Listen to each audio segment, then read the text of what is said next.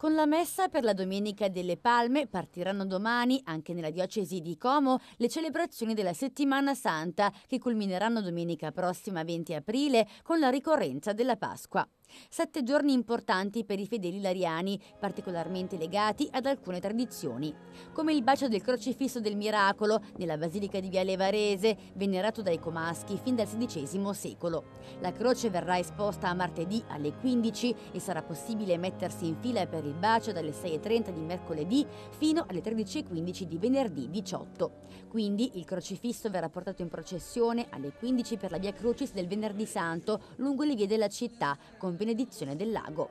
La Via Crucis dei Giovani, invece, si svolgerà lunedì 14 aprile, con partenza alle 20.30 dal Santuario del Santissimo Crocifisso e arrivo in Duomo e sarà presieduta da Monsignor Diego Coletti.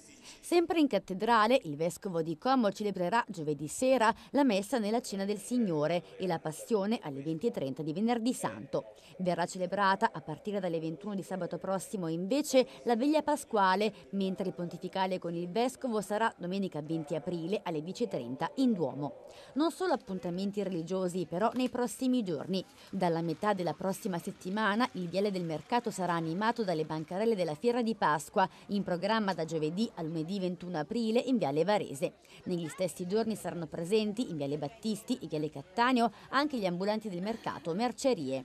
Dal sacro al profano dunque per una settimana la città sarà presa d'assalto da comaschi e turisti e scatterà inevitabilmente la caccia al parcheggio. A tal proposito, il sindaco di Como, Mario Lucini, ha annunciato un accordo con l'ospedale Valduce per l'utilizzo nel weekend di 80 posti all'interno del parcheggio dipendenti e con il collegio Gaglio per avere a disposizione un centinaio di posti in piazza Cacciatori delle Alpi e in via Barelli. La sperimentazione inizierà nel periodo di Pasqua, quando i parcheggi di Viale Varese saranno occupati dalle bancarelle.